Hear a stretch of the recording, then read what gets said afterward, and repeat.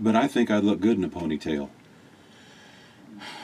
I just think I could I could tie it up in a man bun whenever I wanted to. Watch. Huh? You know what that was? that was an eye roll. You you eye- you did an eye roll, Yes. So you don't want me to grow a ponytail? No. No ponytail. No ponytail, no man bun. But but Trace Adkins has a ponytail, and you think he looks good. I didn't marry Trace. I married Bill. Just saying. Did you know the camera's been on all this time? No. You didn't? Was I ready? No. Were you? re- I don't know. Were you? No. Anyway. Well, No, not I guess we better talk about the subject at hand. We'll discuss the ponytail man bun thing later. Right. Okay, fine. Fine. Anyway, we thought we'd uh, take a little time here and talk about our rigid drain system that we put together. We'd mentioned it a while back that we were going to do something like that, right? Yes. And uh, anyway, we got to put together. I hesitated. Uh, actually, we hesitated to to talk about this yet because there's still a little bit more tweaking required. But uh, we thought we'd go into it a little bit in case uh, someone can pick up some ideas off of that. Now, not everybody's drain system is set up the way ours is, but there might be something in this that someone else could use. So that's why we're talking about it right now. Now, if you'll remember from previous videos, uh, we have two RV style sewer dumps, one at the front where the bathroom area is, and another one at the back where the sink is. And they're regular, standard, uh, lug fitting type, three inch RV sewer dumps, just like you'd find on a regular RV. And what we've been doing when we're out at parks that do not have sewer hookups, right now because we're stationary, we have a regular sewer hookup. But what we've been doing when we're at other parks, which 99.99% of the time when we're go back into travel mode, that's I, the way I love it be. when you say that. Go back, back, back into travel yeah, mode. Yeah, we are definitely looking forward. We're counting the days, looking forward to going back into travel mode. But we have agreed to do this uh, for the Corps of Engineers through the winter, so we're going to stay with it, of course. But we're ready to get back on the road, um, uh, and we can't wait until it's time. But what we've been doing in in the past, you know, we've used two tanks. We have a separate tank for the bathroom area up front, and we have a separate tank, uh, auxiliary uh, tank for the kitchen area at the back. And uh, we even did a video here a while back when I had my uh, my eye surgery because I couldn't do any heavy lifting where Deb actually did the dumping and she dumped both of those tanks. Uh, although it, it works really, really good, we've been trying to figure out ways to simplify it. So uh, we're going to go to a one tank system rather than having a 22 gallon tank for the bathroom area and a 10 gallon tank for the kitchen. What we're going to go to uh, when we get back in travel mode again is a single 32 gallon tank. So we came up with an idea how we could uh, set this thing up real easily. Now, uh, you've probably seen photos of the rigid drain system already. I'm sure I flashed a few up. And we'll talk about the fittings that are available. Um, there are fittings out there available that actually will glue directly to a 3 inch Schedule 40 PVC pipe or 3 inch Schedule 40 ABS pipe. Now, the fittings themselves are made out of ABS. Now, when you're gluing these fittings to uh, PVC, which is what I did in this case, mainly because ABS pipe wasn't available around here, and I didn't realize the difference until I got ready to put the system together, and I had a short window because of the weather, I went ahead and went with PVC. But what I did use is a PVC cement that will go both ways. It will. Uh, It'll work with. Uh, hey, you just happen to have some. Yeah, Well, it's right it here. so hey, freeze. here it is, right here. Let me get it up close to the camera so you can see. Yeah, that one. oh, Let me spin it this way. That is the one that uh, will glue either ABS or PVC, and it worked fantastic. Now these fittings, uh, there's two types. You've got one called the bayonet fitting, and it swivels on the end, which makes it nice when you're hooking up uh, hoses and things like that to it. And then the other fitting is what they call the lug fitting. Now the bayonet fittings run around um, $10.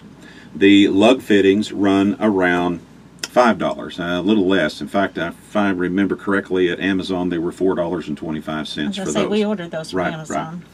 Now, what we did, and you can see it in the photo as well, we rigged it up where we can run a short tube uh, out of the sewer dump and go into the straight rigid tube uh, at one end, and then at the other end, uh, I made up a T. And of course, what you can see there at the T, where uh, one end of it connects to the rigid tube, um, the actual T part of the T uh, connects to the other short hose that's coming out of uh, that particular uh, sewer dump. And then, of course, on the other end of the T, it goes off and goes into, in this case, goes off into the sewer dump at the campsite that we're at. Or uh, you can also come off of there and go straight into an auxiliary tank. Now, altogether in this entire system, uh, I've got less than $90 in the whole system.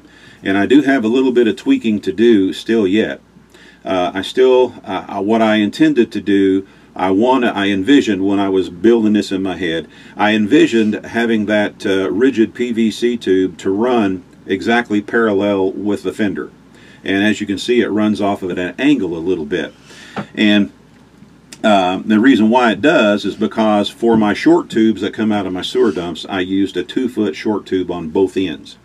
And uh, the one end where it actually hooks into the rigid tube, at, in this case at the front of the trailer, that tube really needs to be a five foot tube because that'll give me enough room for the tube to come out. I, am I getting too close to you?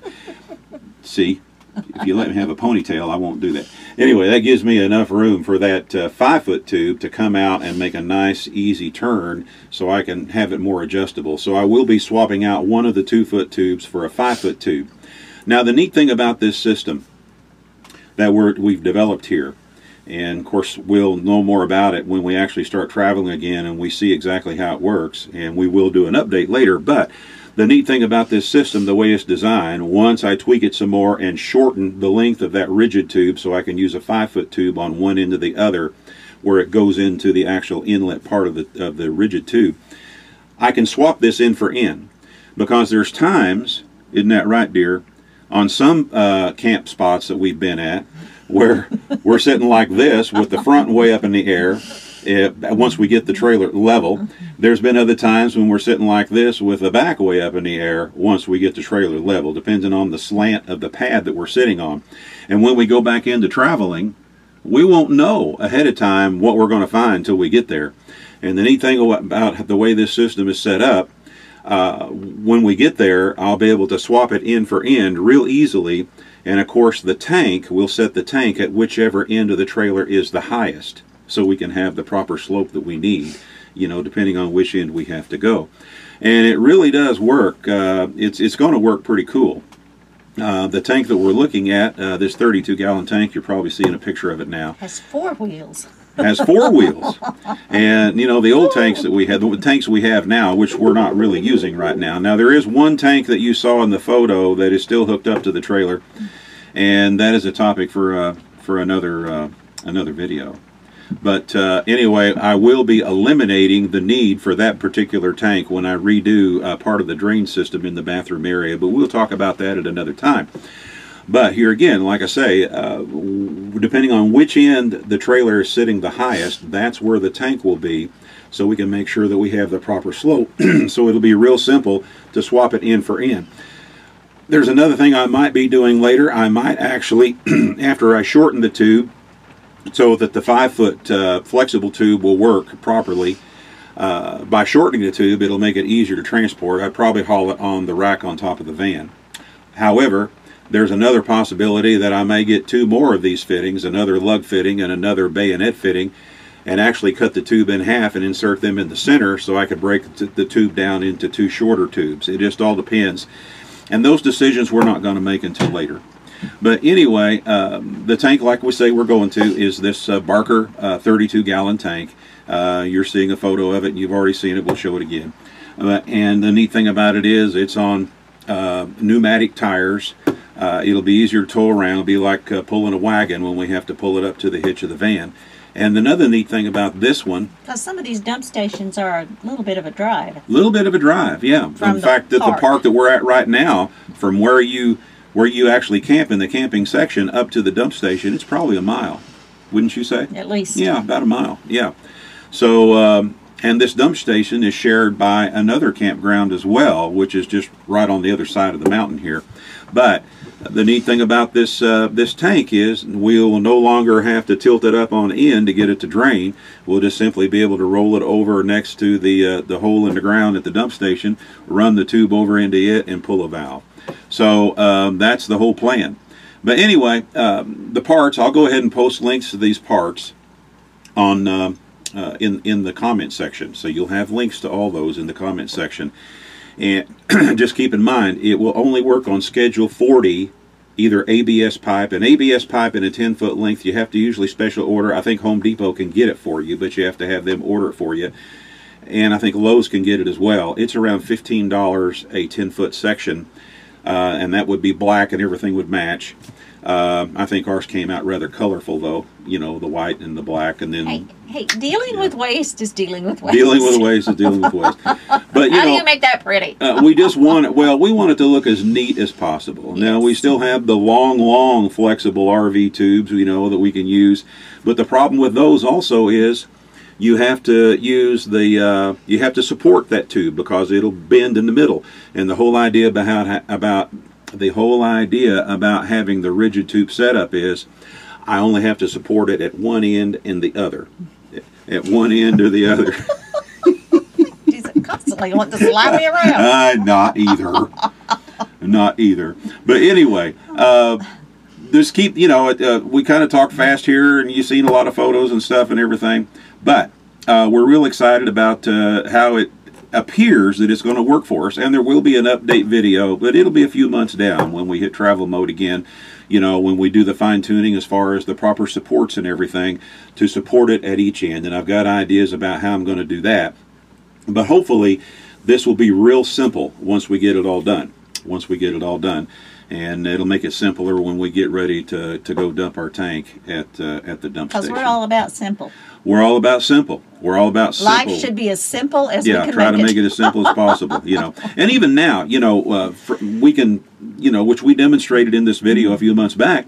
Yeah, we can do the whole thing in in under thirty minutes. You know, as it is now. the, the, the problem with having two is one had to be lifted up Yeah, into the, the, van. The, the smaller one, the ten gallon, because it doesn't come with a hookup to hook to the uh, to the hitch of the of the vehicle. So we, I physically have to lift it And up that into got the. heavy and- And we get heavy sometimes, you know.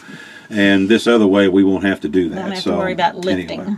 So, I guess we're going to say uh, goodbye for now, and uh, Deb and I'll go back into discussing whether I can grow a ponytail or not. no, I can't grow a ponytail. no, no. Takes too long to wash it. takes too long to wash it. Whatever. anyway, I guess um, We're not living. we're not living. We're not living. That's an outtake. We're not camping. We'll leave it in there. We'll leave it in there. Yeah. Okay. Say it. Say it again, dear. We're not. We're not camping. We're living. We're living. This is Bill and Deb with I Ride Tiny House Adventures. Y'all have a good day. We'll see you again soon. Bye bye now.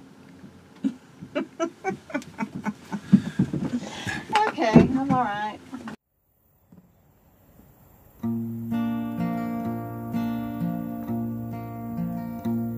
As we sit side by side under the beautiful sky and reflect on this life we have chosen, there's so much we've discovered through our love for each other. With no worries about where we'll be going. Then I look in your eyes, and with no great surprise, I see joy in this life we've been given. With my mind oh so clear, I whisper softly in your ear. We're not camping, we're living. We're not camping,